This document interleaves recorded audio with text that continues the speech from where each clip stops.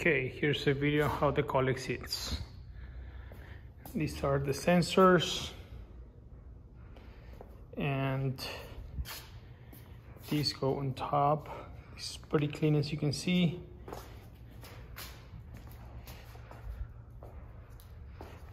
All the way around.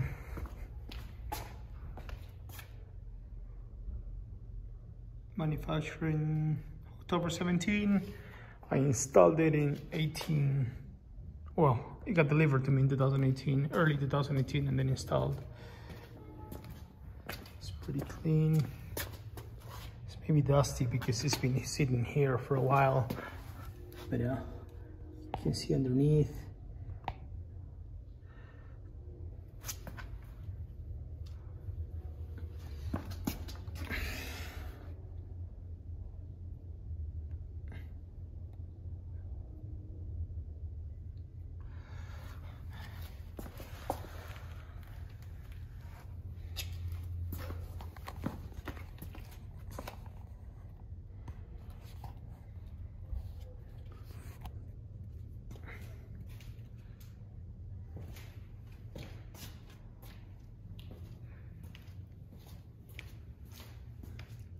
Clean.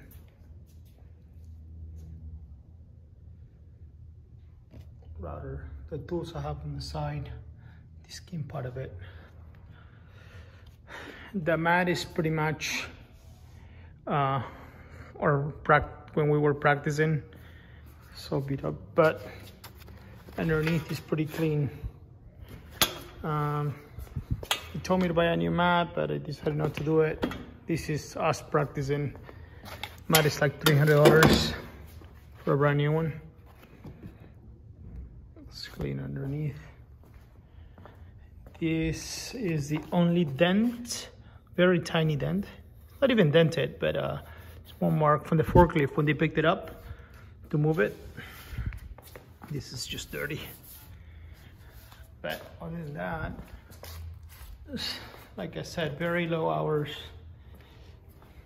probably used it once a week uh, if I did just to practice or to make a run. Always maintain